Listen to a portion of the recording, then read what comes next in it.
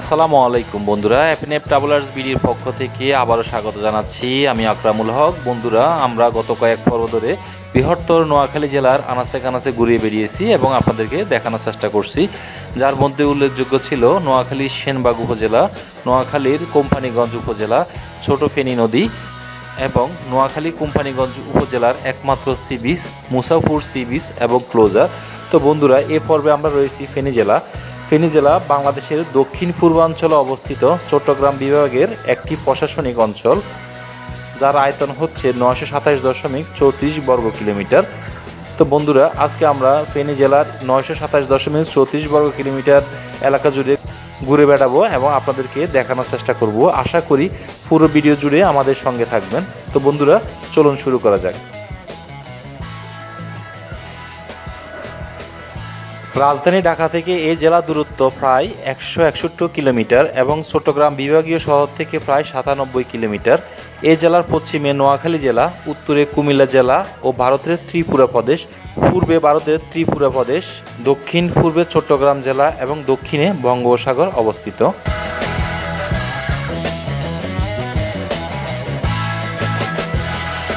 ইতিহাস গেটে আমরা যা জানতে পারলাম, উনিশশো চুরাশি সালে প্রশাসনিক পুনর্গঠনের মাধ্যমে যে সকল মহকুমাকে মনোনীত করে জেলা রূপান্তর করা হয়েছিল, ফেনী জেলা তার মধ্যে একটি। উনিশশো চুরাশি সালের পূর্বে এটি নোয়াখালী জেলার একটি মহকুমা ছিল। এই মহকুমার গোড়াপত্তন হয় আঠারোশো পঁচাত্তর খ্রিস্টাব্দে মিরেশ্বরায়, ছাগলনাইয়া ও আমিরগাঁও এর সমন্বয়ে। প্রথম মহকুমার প্রশাসক ছিলেন কবি নবীনচন্দ্র সেন। আঠারোশো ছিয়াত্তর সালে মিরেশ্বরাকে কর্তন করে চট্টগ্রাম জেলার অন্তর্ভুক্ত করা হয়। প্রথম মহকুমার সদর দপ্তর ছিল আমিরগাঁওয়ে। আঠারোশো বাহাত্তর থেকে আঠারোশো চুয়াত্তর সালের মধ্যে মোগল আমলের আমিরগাঁও থানা নদী ভাঙ্গনের ফলে ফেনী নদীর ঘাটের কাছাকাছি খাইয়ারতে স্থানান্তরিত করা হয়। পরবর্তীতে এটি থানা নামে পরিচিত হয়। অতপর আঠারোশো ছিয়াত্তর সালে নতুন মহকুমা পতিত হলে খাইয়ারা থেকে থানা দপ্তরটি মহকুমা সদরে স্থানান্তরিত হয়। ও নতুন মহকুমাটি ফেনী নামে পরিচিত হয়। পরবর্তীতে আঠারোশো একাশি সালে তা ফেনী শহরে স্থানান্তরিত হয়। ফেনী নদীর নাম অনুসারে এই অঞ্চলের নাম রাখা হয়েছে ফেনী। দূর অতীতে এই অঞ্চল ছিল সাগরের অংশ, তবে উত্তর পূর্ব দিকে ছিল পাহাড়ি অঞ্চলের পাদদেশ। ফেনীর পূর্ব দিকে রঘুনন্দন পাহাড় থেকে কাজিরবাগের পোড়ামাটি অঞ্চল হয়তো আদিকালে শিকারী মানুষের প্রথম পদচিহ্ন পড়েছিল। এখানকার ছাগলনাইয়া গ্রামে উনিশশো তেষট্টি সালে একটা পুকুর খননকালে নব্যপ্রস্তর যুগের মানুষের ব্যবহৃত একটি হাতিয়ার বা হাতকুড়াল পাওয়া গেছে। পণ্ডিতদের মতে ওই হাতকুড়াল প্রায় পাঁচ হাজার বছর পূর্বের পুরাতন হাতকুড়াল। বৃহত্তর নোয়াখালীর মধ্যে পূর্ব দিকের ফেনী অঞ্চলকে ভূখণ্ড হিসেবে অধিকতর প্রাচীন বলে পণ্ডিতগণ মত প্রকাশ করেছেন। ফেনীর পূর্বভাগের ছাগলনাইয়া উপজেলায় শিলুয়া গ্রামে রয়েছে এক প্রাচীন ঐতিহাসিক শিলামূর্তির ধ্বংসাবশেষ। ওই শিলামূর্তিটির অবস্থানের কারণে স্থানটির নাম শিলুয়া বা শিলে নামে পরিচিত হয়েছে। প্রাচীনকালে হয়তো এখানে বৌদ্ধ ধর্মের কৃষ্টি বিকশিত হয়েছিল। ফেনী নদীর তীরে রঘুনন্দ পাহাড়ের পাদদেশে অষ্টাদশ শতাব্দীর মধ্যভাগে বীর বাঙালি শামশের গাজীর রাজধানী ছিল। তখন তিনি এখান থেকে যুদ্ধ অভিযানে গিয়ে রোশনাবাদ ও ত্রিপুরা রাজ্য জয় করেন। ফেনী জেলা ছয়টি উপজেলা, ছয়টি থানা, পাঁচটি পৌরসভা, তেতাল্লিশটি ইউনিয়ন, পাঁচশো ষষট্টিটি গ্রাম ও পাঁচশো চল্লিশটি মৌজা রয়েছে।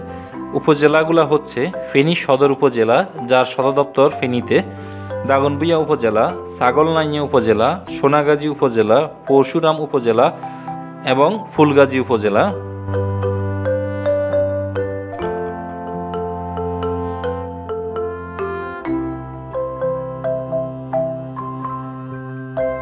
পার্শ্ববর্তী দেশ ভারতের সাথে তিন দিক থেকে রয়েছে ফেনী জেলার সীমান্ত। ফেনী সীমান্তে মুক্তিযুদ্ধের বেশ কয়েকটি যুদ্ধ হয়। এর মধ্যে শুভপুর ও বিলোনিয়া যুদ্ধ অন্যতম। তৎকালীন আওয়ামী লীগের নেতা, ফেনী মুক্তিযুদ্ধের সংগঠক আব্দুল মালেক ও খাজা আহমদের নেতৃত্বে ফেনীর মুক্তিযোদ্ধারা দেরুদান ও ছোত্তাখোলায় প্রশিক্ষণ নিয়ে মুক্তিযুদ্ধে অংশ নেয়। মুক্তিযুদ্ধকালীন সাব সেক্টর কমান্ডার জাফর ইমামের নেতৃত্বে বিলোনিয়া যুদ্ধে একটি অন্যান্য রক্তক্ষয়ী যুদ্ধ হিসেবে ইতিহাসে স্থান করে নেয়। ছয় ডিসেম্বর ফেনী জেলার বীর মুক্তিযোদ্ধারা পাক হানাদার বাহিনীকে পরাজিত করে ফেনীকে মুক্ত করে। প্রতি বছর ছয় ডিসেম্বর দিনটিকে ফেনী জেলাবাসী ফেনী মুক্ত দিবস হিসেবে পালন করে থাকেন। মুক্তিযুদ্ধে অসামান্য বীরত্বের জন্য ফেনীর একত্রিশ জন মুক্তিযোদ্ধাকে রাষ্ট্রীয় খেতাব দেওয়া হয়। খেতাবপ্রাপ্ত মুক্তিযোদ্ধাদের মধ্যে চারজন বীর উত্তম সাতজন বীর বিক্রম এবং বিশ জন বীর প্রতীক খেতাবে ভূষিত হন।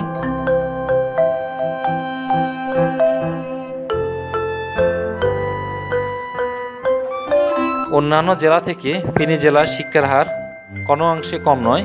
ফেনী জেলার সাক্ষরতা হার উনষাট দশমিক ষাট শতাংশ। এ জেলা রয়েছে বিশ্ববিদ্যালয় একটি, ডিগ্রি কলেজ এগারোটি, উচ্চ মাধ্যমিক কলেজ দশটি, ক্যাডেট কলেজ বালিকা একটি, কারিগরি শিক্ষা প্রতিষ্ঠান ষাটটি, ফেনী কম্পিউটার ইনস্টিটিউট একটি, মাদ্রাসা সাতানব্বইটি, মাধ্যমিক বিদ্যালয় একশো পঞ্চান্নটি, শিক্ষা প্রশিক্ষণ কেন্দ্র একটি, নিম্ন মাধ্যমিক বিদ্যালয় উনিশটি, পিটিআই একটি, প্রাথমিক বিদ্যালয় পাঁচশো আঠাশটি। ফেনী জেলা মানুষের প্রধান পেশা কৃষি ও প্রবাসী। এ জেলা অর্থনীতি কৃষির অবদান হচ্ছে একুশ পার্সেন্ট এই জেলায় দুটি শিল্প এলাকা রয়েছে। মোট বৃহৎ শিল্পের সংখ্যা চারটি, তার মধ্যে একটি হচ্ছে স্টারলাইন গ্রুপ। মাঝারি শিল্প চোদ্দোটি, ক্ষুদ্র শিল্প আটশো ছাব্বিশটি এবং কুটির শিল্প তিন হাজার চারশো উনিশটি।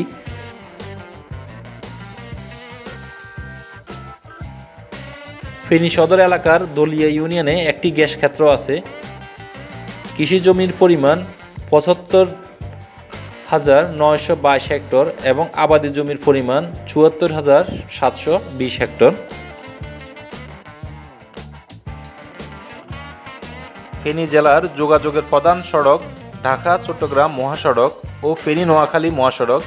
সব ধরনের যানবাহনে যোগাযোগ করা যায়। এছাড়া রয়েছে রেলওয়ে যোগাযোগ ব্যবস্থা। ফেনী শহরের মধ্যখান দিয়ে ঢাকা, চট্টগ্রাম রেল লাইন স্থাপন করার ফলে এখান থেকে বাংলাদেশের যে কোনো জায়গায় সহজে ট্রেনে করে যাওয়া যায়। যার মধ্যে উল্লেখযোগ্য হচ্ছে ফেনী থেকে চট্টগ্রাম, ফেনী থেকে ঢাকা, ফেনী থেকে সিলেট। এর সরাসরি রেল ব্যবস্থা রয়েছে এখান থেকে।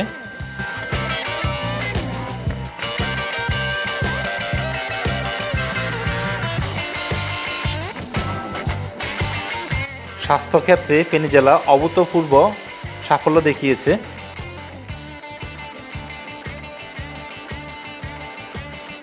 ফেনী জেলা দুইশো পঞ্চাশ শয্যা বিশিষ্ট একটি আধুনিক হসপিটাল, পঞ্চাশ শয্যা বিশিষ্ট দুইটি উপজেলা স্বাস্থ্য কমপ্লেক্স, একত্রিশ শয্যা বিশিষ্ট তিনটি উপজেলা স্বাস্থ্য কমপ্লেক্স, একটি হার্ট ফাউন্ডেশন হসপিটাল, একটি ডায়াবেটিস হাসপাতাল, একটি বক্ষব্যাধি ক্লিনিক, একটি ট্রমা সেন্টার, একটি মা ও শিশু কল্যাণ কেন্দ্র একটি নার্সিং ট্রেনিং ইনস্টিটিউট, উনিশটি ইউনিয়ন উপস্বাস্থ্য কেন্দ্র, তেত্রিশটি ইউনিয়ন পরিবার কল্যাণ কেন্দ্র এবং একশো চোদ্দোটি কমিউনিটি ক্লিনিক রয়েছে।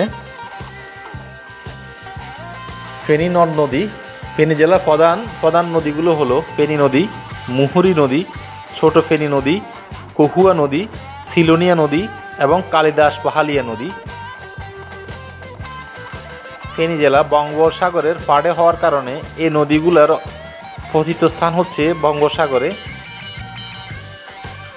উল্লেখযোগ্য নদীগুলা ভারত এবং অন্যান্য নদী থেকে উৎপত্তি হয়ে ফেনী জেলার ভিতর দিয়ে বঙ্গোপসাগরে পতিত হয়েছে।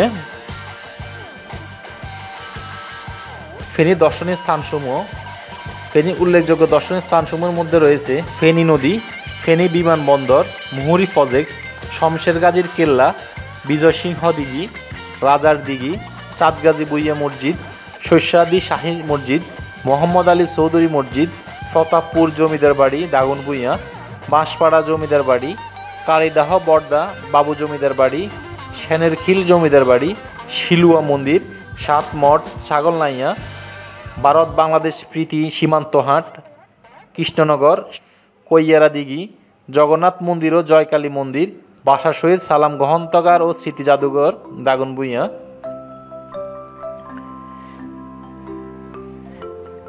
ফেনী জেলার মাটিতে অনেক কীর্তিমান ব্যক্তিবর্গ জন্মগ্রহণ করেছেন, যার মধ্যে উল্লেখযোগ্য হচ্ছে খালেদা জিয়া রাজনীতি ব্যক্তিত্ব, বাংলাদেশ সাবেক এবং প্রথম মহিলা প্রধানমন্ত্রী, শমশের গাজী, জমিদার, ব্রিটিশ বিরোধী বিপ্লবী, আব্দুস সালাম, বাসা শহীদ, জহির রায়ান, বাসা সৈনিক, চলচ্চিত্র পরিচালক, উপন্যাসিক এবং গল্পকার, আওরঙ্গজেব চৌধুরী, বাংলাদেশ সেনাবাহিনীর প্রাক্তন প্রধান আবদুল্লাহ আওয়াল মিন্টু এফবিসিসিআই এর সাবেক প্রেসিডেন্ট। আনারুল্লাহ চৌধুরী, ঢাকা বিশ্ববিদ্যালয়ের প্রাক্তন উপাচার্য।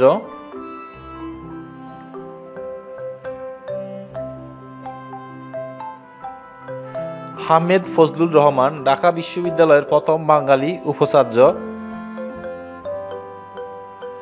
এ বি এম মুসা, সাংবাদিক এবং বাংলাদেশি প্রাক্তন সংসদ সদস্য। ওয়াসফিয়া নাজরিন, পর্বত আরোহী, এভারেস্ট বিজয়ী, দ্বিতীয় বাঙালি নারী। কাইয়ুম চৌধুরী, চিত্রশিল্পী। গিয়াসউদ্দিন সেলিম, নাট্যকার, নাট্য নির্মাতা ও চলচ্চিত্রকারক। গিয়াস কামাল চৌধুরী, সাংবাদিক, কলামিস্ট এবং সংবাদ বিশ্লেষক। জহুর আহমেদ চৌধুরী, সাংবাদিক। খাজা আহমেদ, মুক্তিযুদ্ধের সংগঠক, বাংলাদেশের প্রাক্তন সংসদ সদস্য এবং রাজনীতি ব্যক্তিত্ব। জাফর ইমাম, বীর মুক্তিযোদ্ধা। ফান্না কায়সার রাজনীতিবিদ ফয়জুল মহিউদ্দিন, শহীদ বুদ্ধিজীবী শহীদুল্লাহ কায়সার লেখক এবং বুদ্ধিজীবী মকবুল আহমেদ, বাংলাদেশ জামাত ইসলামের সাবেক আমির। বন্ধুরা, ফেনী জেলার মাটিতে অনেক কীর্তিমান ব্যক্তিবর্গ জন্মগ্রহণ করেছেন, যাদের নাম বলে শেষ করা যাবে না।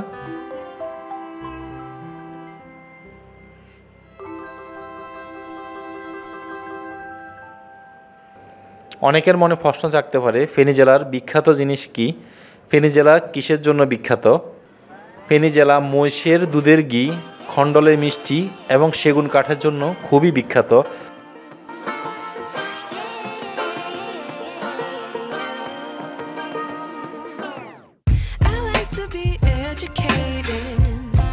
But I'm so frustrated. Hello to my তো বন্ধুরা, আপনারা যারা ফেনীতে ঘুরতে আসবেন, এই ক্ষেত্রে আপনাদেরকে দুই একদিন হাতে সময় নিয়ে আপনারা ঘুরে দেখতে পারেন। কারণ হচ্ছে ফেনীর আনাচে কানাচে প্রচুর দেখার মতো অনেক জায়গা রয়েছে। এছাড়াও ফেনী পার্শ্ববর্তী জেলা, নোয়াখালী এবং চট্টগ্রাম জেলা হওয়ার কারণে এই জেলাগুলোতে প্রচুর দর্শনীয় স্থান রয়েছে। আপনি চাইলে ফেনী জেলা অবস্থান করে পুরো অঞ্চলটাকে আপনি ঘুরে ঘুরে দেখতে পারেন। ফেনী থেকে খুব কাছেই চিটংয়ের সীতাকুণ্ড এবং মিরেশ্বরাই উপজেলা। এখানে রয়েছে প্রচুর পাহাড়ি অঞ্চল এবং ঝর্ণাধারা। আপনারা চাইলে ফেনী শহর থেকে অবস্থান করে এই অঞ্চলগুলো ঘুরে ঘুরে দেখতে পারেন। তো বন্ধুরা, ফেনী শহরের আশপাশে প্রচুর পরিমাণে হোটেল মোটেল রয়েছে। তিনশো থেকে দুই হাজার টাকার মধ্যে আপনারা খুবই ভালো মানের হোটেল পেয়ে যাবেন। এছাড়াও জেলা প্রশাসকের সার্কিট হাউস রয়েছে।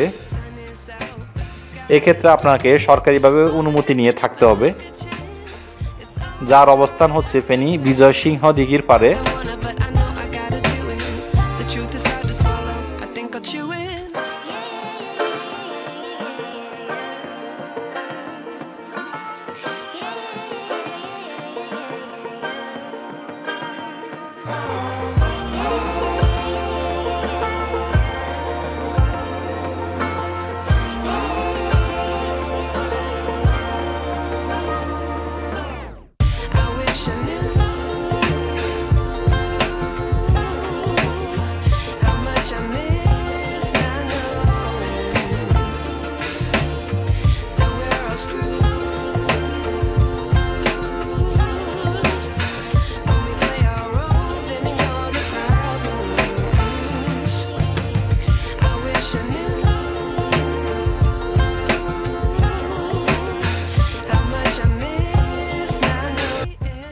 তো বন্ধুরা, আশা করি আমাদের ভিডিওটি আপনাদের ভালো লেগেছে। যদি আমাদের ভিডিওটি আপনাদের ভালো লেগে থাকে, অবশ্যই আমাদেরকে একটা লাইক দিয়ে সমর্থন করবেন। আর কোনো কিছু যদি আমাদেরকে জানানোর ইচ্ছা থাকে, অবশ্যই কমেন্টস করে আমাদেরকে জানাবেন।